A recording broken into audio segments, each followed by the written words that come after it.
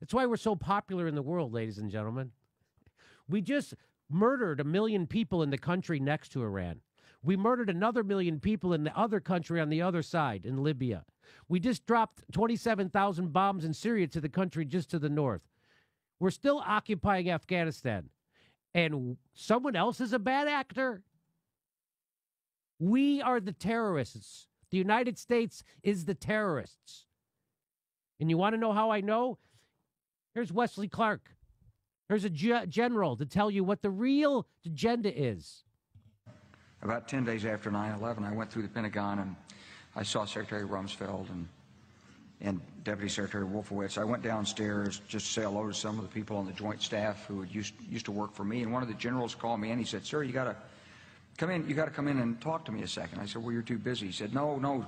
He says, We've made the decision we're going to war with Iraq. This was on or about the 20th of September. I said, We're going to war with Iraq. Why? He said, I don't know. he said, I guess they don't know what else to do. So uh, I said, Well, did they find some information collect, connecting Saddam to Al Qaeda? He said, No, no. He says, There's nothing new that way. They just made the decision to go to war with Iraq. He said, I guess it's like we don't know what to do about terrorists, but we've got a good military and we can take down governments. And um, he said, I guess if if the only tool you have is a hammer, every problem has to look like a nail. So I came back to see him a few weeks later, and by that time we were bombing in Afghanistan. I said, Are we still going to war with Iraq? And he said, Oh, it's worse than that. He said, he reached over on his desk, he picked up a piece of paper, he said, I just he said, I just got this down from upstairs, meaning the Secretary of Defense's office today, and he said, This is a memo that describes how we're going to take out seven countries in five years starting with Iraq and then Syria, Lebanon, Libya, Somalia, Sudan, and finishing off Iran.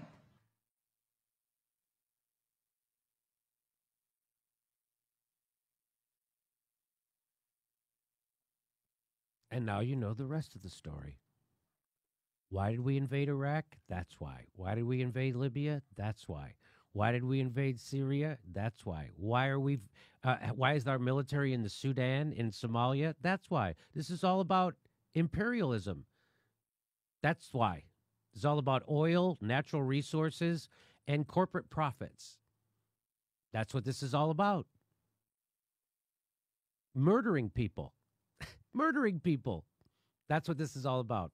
Because we can. United States is the biggest murdering terrorist country in the world. Organization. We're much, much bigger terrorists than Al Qaeda and ISIS ever could hope to be. That's our country. Now, people like Sam Harris will tell you that we're the we're the good guys, and we should be doing this because they have they they have an old timey religion that's barbaric. Uh, unlike uh, unlike Sam Harris's religion, and unlike uh, the Christianity I was brought up with, which massacred the Indians, the Native Americans in the United States, did the Crusades. Um, yeah, it's fantastic. Uh, anyway, Ron, anything you want to add to this? Because this is. Yeah, I mean, it's amazing that we're just doing that to their media. And, you know, I'll give a shout out to Medea Benjamin because she wrote the book Inside Iran that really breaks down from 1953 to present what we have done to Iran, what the United States has done to Iran over the decades. And you read that book, and, and there's, you know, a lot of the stuff is just, you know, pretty stuff that most people are aware of, but a lot of the stuff, I mean, I personally wasn't even aware of. And you just read that book, and every three sentences, you're just yelling, Why are we so terrible? Why are we doing this? Yeah, well, people don't know that they had a democratically elected president in Iran. In Iran uh, and in 1953, our the United States overthrew that president. His name was Mossadegh. And why did we do that?